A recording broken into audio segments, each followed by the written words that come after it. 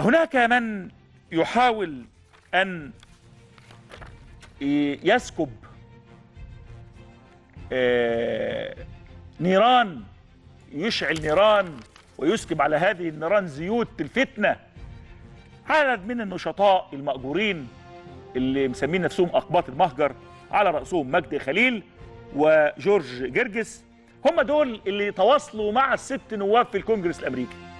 تواصلوا معاهم وقال حاجة غريبة جدا آه، في الأسبوع الماضي شارك آه، آه، جورج جرجس في جلسة للكونجرس الأمريكي حول أوضاع حقوق الإنسان في مصر وبيقول إنه قدم مجموعة من البيانات والمعلومات قال مجدي جرجس جورج جرجس إنه حاصل عليها من مين؟ من ناشط مصري.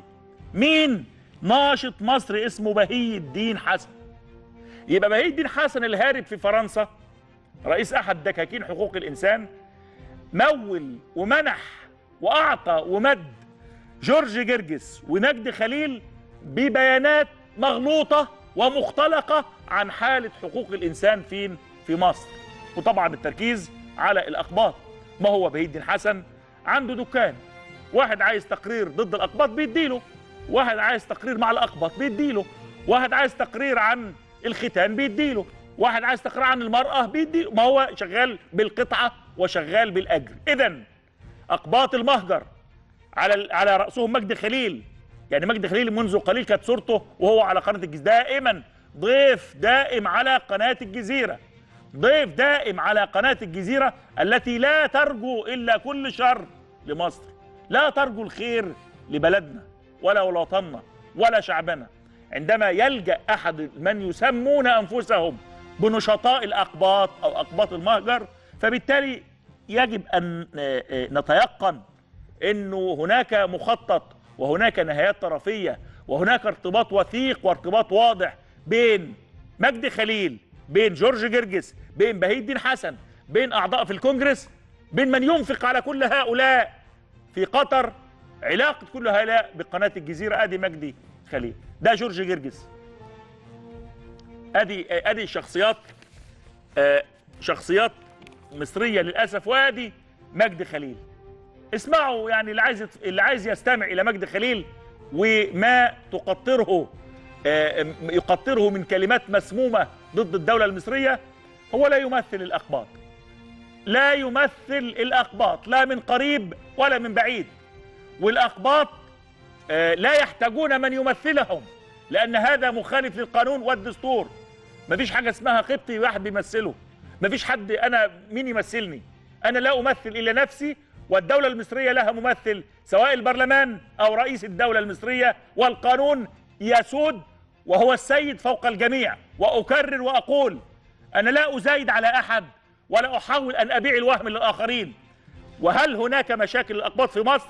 هناك مشاكل للأقباط في مصر وهناك مشاكل للمسلمين في مصر وهناك مشاكل لحتى اللادينيين في مصر زي ما هناك مشاكل لهذه الفئات في أمريكا وفي أوروبا وفي بريطانيا وفي كل مكان.